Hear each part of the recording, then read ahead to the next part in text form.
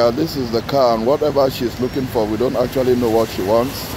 but it's something that uh,